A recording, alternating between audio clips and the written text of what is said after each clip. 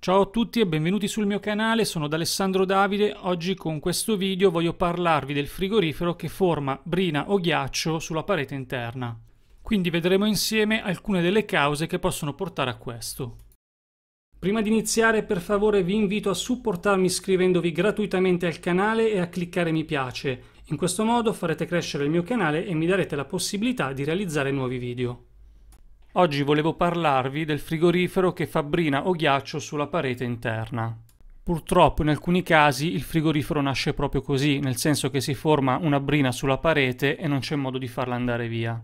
Il problema ci sarebbe se questa brina si forma perché il frigorifero non riesce più a mantenere la temperatura interna. Quindi per diversi motivi il frigorifero potrebbe dissipare la temperatura interna e adesso andiamo a vederne alcuni. Considerate che se questo avviene, il motore del frigorifero deve lavorare di più per compensare e quindi consumare più corrente. Se anziché formarsi una patina di ghiaccio uniforme su tutta la parete, si forma una palla di ghiaccio qui al centro in alto, questo significa che il motore non ce la fa più e succede in genere quando un frigorifero è molto vecchio.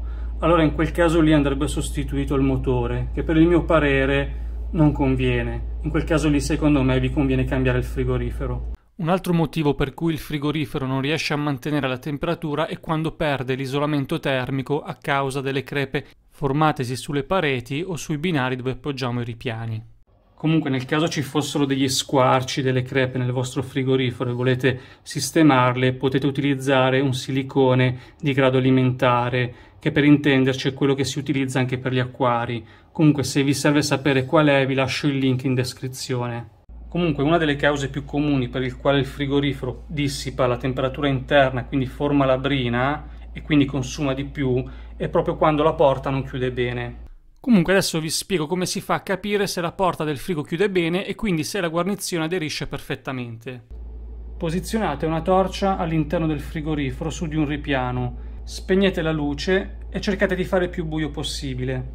Dopodiché chiudiamo la porta. A questo punto la luce interna del frigorifero si sarà spenta in automatico perché abbiamo chiuso la porta, ma la luce della torcia interna rimarrà accesa. Quindi a questo punto non ci resta che eh, controllare su tutto il profilo della guarnizione e vedere se si vedono degli spiragli di luce. Se la luce della torcia non è molto forte vi conviene metterla anche su un ripiano più basso e controllate anche la parte inferiore. In genere può capitare di intravedere degli spiragli di luce proprio negli angoli della guarnizione. Succede spesso che queste guarnizioni si schiacciano e rimangono deformate. Allora qui possiamo fare due cose. Se la guarnizione è cotta, cioè non c'è più elasticità, non è più morbida, ma è praticamente rigida, sembra plastica dura, allora in quel caso lì dobbiamo per forza sostituire la guarnizione e dopo vi spiego come si fa. Se invece è ancora morbida, però si è semplicemente deformata, ha preso una brutta piega, diciamo, allora in quel caso lì possiamo fare qualcosa per tentare di sistemarla. Con un asciugacapelli possiamo scaldare e ridare la forma corretta alla guarnizione. Quindi scaldiamo e tiriamo in modo da far diventare ancora gonfia, dare ancora questo effetto fisarmonica alla guarnizione, in modo che quando chiudiamo la porta questa riaderisca perfettamente. Dovete sapere che le guarnizioni dei frigoriferi all'interno hanno una calamita che serve proprio per far sì che la guarnizione aderisca perfettamente. Può capitare negli anni che questa guarnizione perda il suo effetto e quindi anche in quel caso lì la guarnizione è da cambiare. Anche una guarnizione tagliata così può compromettere il corretto funzionamento del frigorifero. Visto che la guarnizione è ancora così bella morbida, possiamo ripararla utilizzando sempre del silicone di grado alimentare. Vi basterà stenderne un velo e spalmarlo con il dito per chiudere il taglio.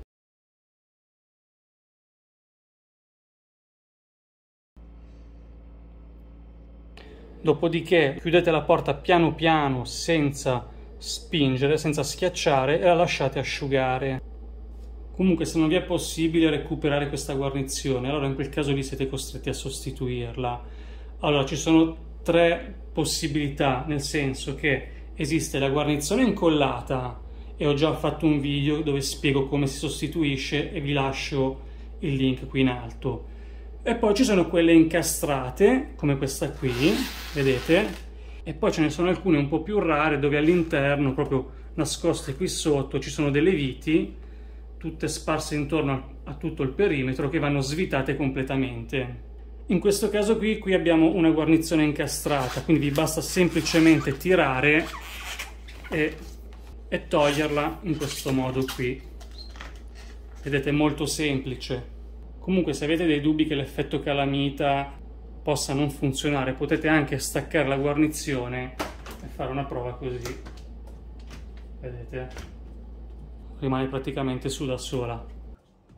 Per concludere, se la guarnizione è molto schiacciata e non riuscite più a dargli la forma corretta, potete anche provare a girarla completamente in questo modo la parte schiacciata della guarnizione eh, andrà a finire nella parte in basso a sinistra vicino alla cerniera dove la porta è molto più vicino alla struttura del frigorifero. Rimontare la guarnizione è molto semplice, dovrete soltanto appoggiarla su e spingerla con forza per tutto il perimetro con le dita.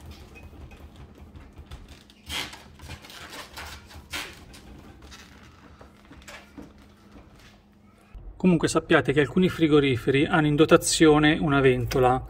Su alcuni modelli si attiva per mezzo del tasto meccanico, su altri modelli bisogna agire sul display. Questa ventola serve per asciugare l'acqua che si forma sulla parete, così da evitare la formazione della brina.